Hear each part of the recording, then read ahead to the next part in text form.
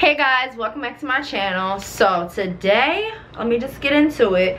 This video is majority going to be all about protective styles. So if you don't want to hear nothing about protective styles do say if you want to stay you're welcome to stay honey. Moving on.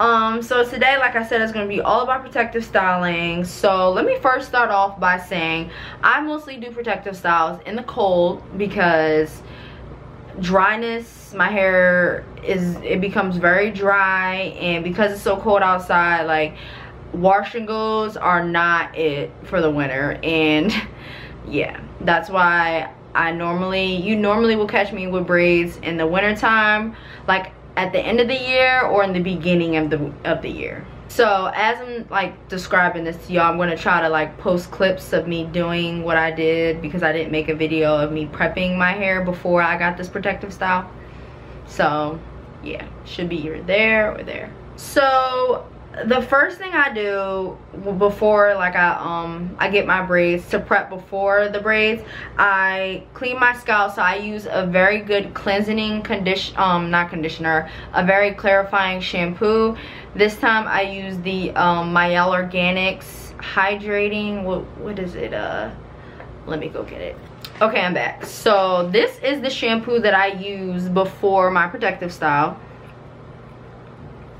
And then I went in and deep and um condition now even though I condition my hair I still deep condition like use a second like a deep conditioner after I I condition my hair to detangle because that's just what I like to do.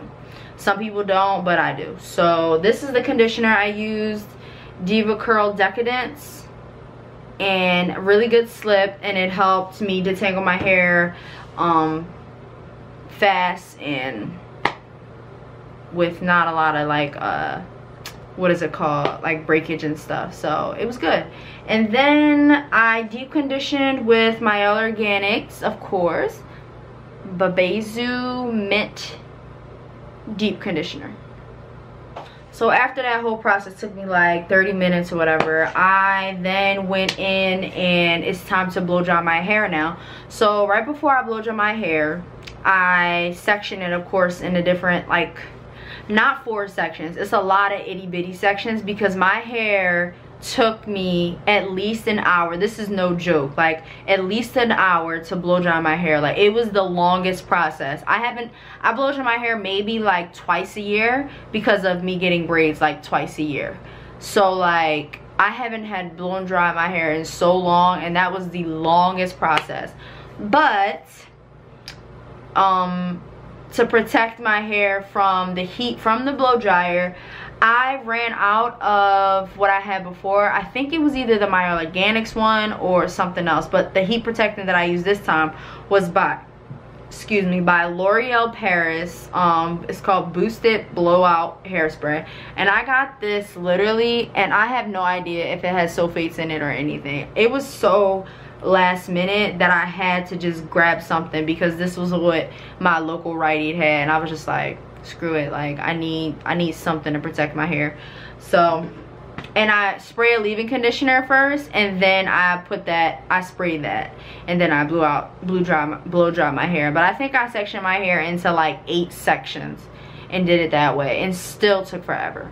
So hopefully I can find a better way to blow dry my hair.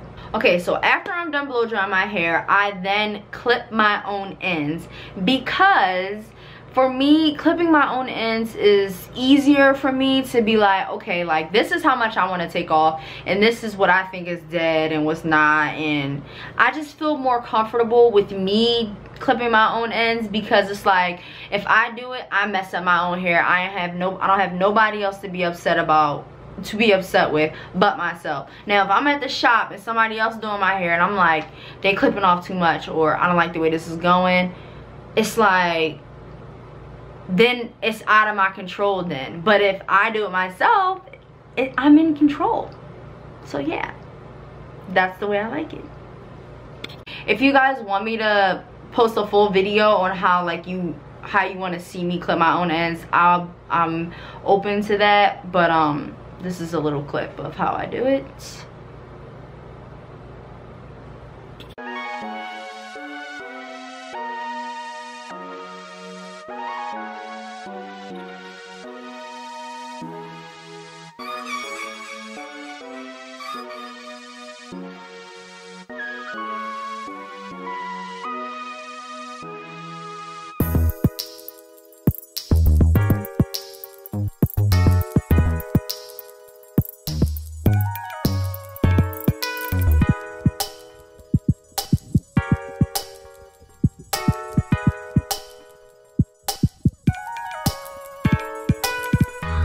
So when I got my hair braided, I also brought my own gel. And this is the gel that she used to put in my extensions.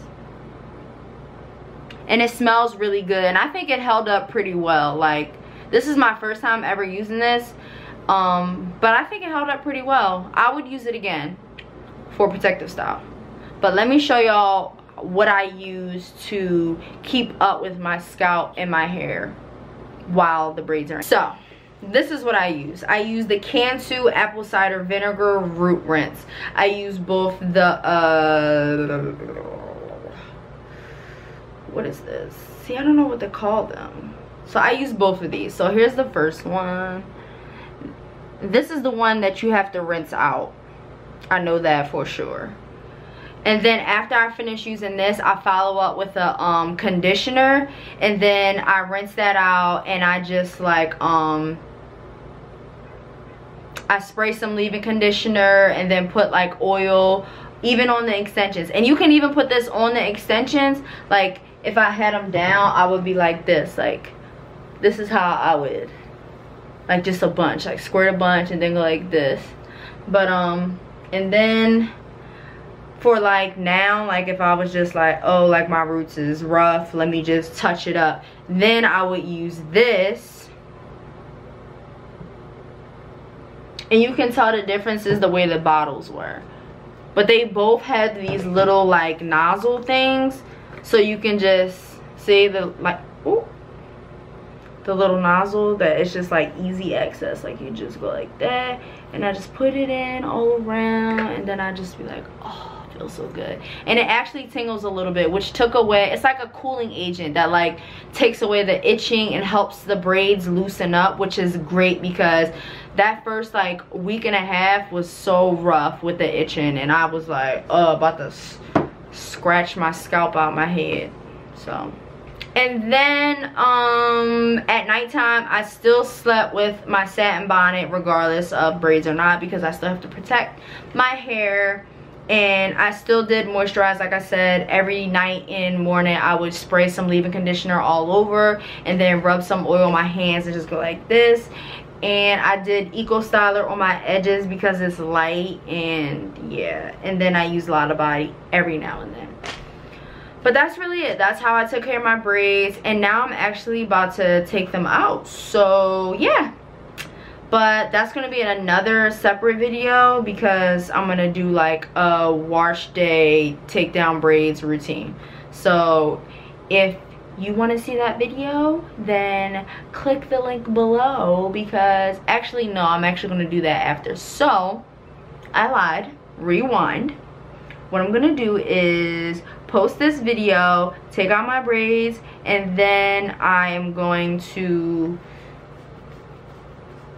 make a post on my Instagram so you know when to see the video of me taking out my braids.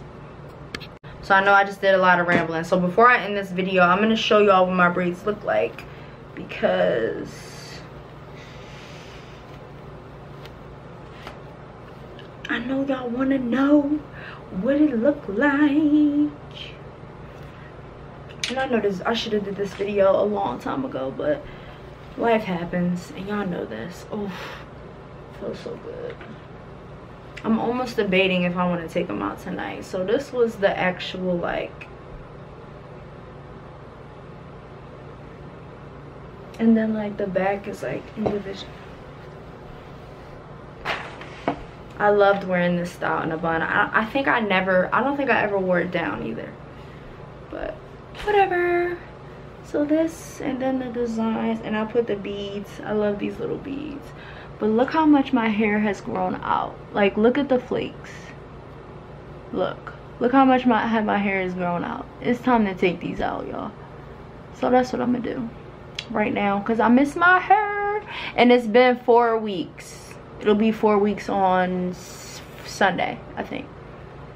But yeah so thanks for watching my video guys. I hope this was helpful to help you take care of your during your protective styles. And i'll see you in my next video Bye, guys.